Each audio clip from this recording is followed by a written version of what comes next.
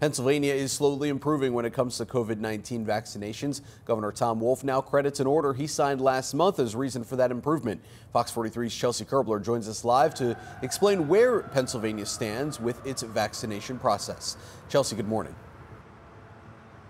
Good morning, Matt. Well, when you look at data and rankings, there are a lot out there as far as when it comes to COVID-19 vaccinations. But in Pennsylvania, when it comes to the percent of people who have received at least the first dose of the COVID 19 vaccine, Pennsylvania is ranking 17th. Now, the state was ranked 30th a month ago, and Governor Tom Wolf believes the improvement came after ordering providers give out 80% of the vaccine doses they have with within seven days of receiving them.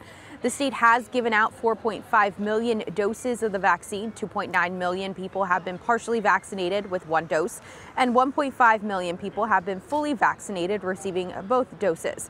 The use of the Johnson & Johnson vaccine has helped boost vaccination numbers as people are fully vaccinated after one shot. The state reached an all-time high of 104,000 shots into arms on Friday, March 12th, and hit more than 100,000 vaccines in a day three times last week. The Wolf administration has committed to ensuring everyone currently eligible in phase 1A will have access to a vaccine appointment by the end of the month, although it's currently unknown if the state will reach that goal.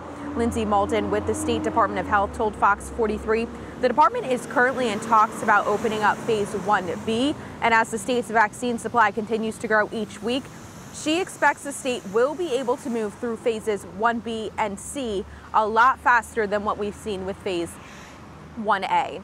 And as more and more people become vaccinated, the state has amended its face covering order to align with the U.S. Centers for Disease Control and Prevention. Fully vaccinated people can now visit with other fully vaccinated people indoors without wearing a mask or socially distancing. They can also visit unvaccinated people from a single household who are at low risk for severe COVID 19 without wearing a mask or social distancing. Now, people who are fully vaccinated don't have to quarantine or test if they've been exposed to someone who has COVID 19 as long as they are asymptomatic. However, uh, health officials are asking people who are vaccinated to still follow some mitigation orders, especially when out in public places, to wear a face mask and socially distance. In Harrisburg, Chelsea Koerbler, Fox 43 News.